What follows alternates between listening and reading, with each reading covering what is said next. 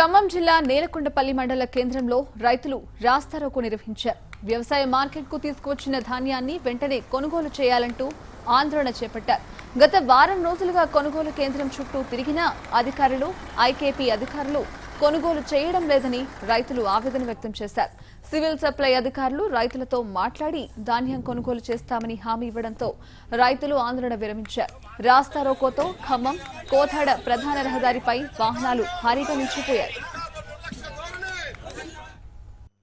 Market వడ్లు తీసుకొచ్చి వారం రోజులు అవుతుంది.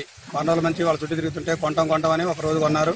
తెల్లారి మళ్ళీ మేము కొనట్లేదు సెంటర్ ఎత్తేస్తాను అని అడిగారు. ఇదేందమ్మా అని గట్టిగా అడిగితే మీరు ఏం చేస్తారో చేసుకోండి ఎవరు చెప్పుకుంటో చెప్పుకోండి కేసు పెట్టుకుంటూ పెట్టుకో మీ ఇష్టం వచ్చింది చేసుకోండి మేము కొనమని వాళ్ళు ఐకేపీ వాళ్ళు మాతో చెప్పడం జరిగింది.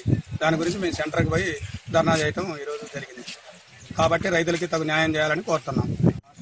రాత్రి కాసిపోయిన అయోధ్య వారం రోజులైంది ధాన్యం పోసి ఇక్కడ ఎండ తీసినాం.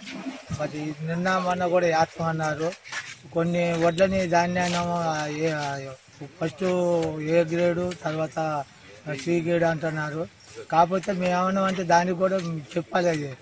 A A grade weight first number వేసుకొని లాభం వేసుకోండి అని చెప్పినాం.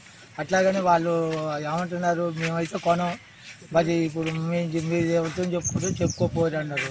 దాని మీద రైతులు అందరం కలిసి ధర్నా చేసినాం. మా డిమాండ్ రైతులు ఒడ్డు ధాన్యం కొనాలి తడవకుండా రైతుల్ని అందరినీ సక్రమంగా ప్రభుత్వం చూడాలి. అవి ఇతర చెక్కులు కూడా ఎమ్మటే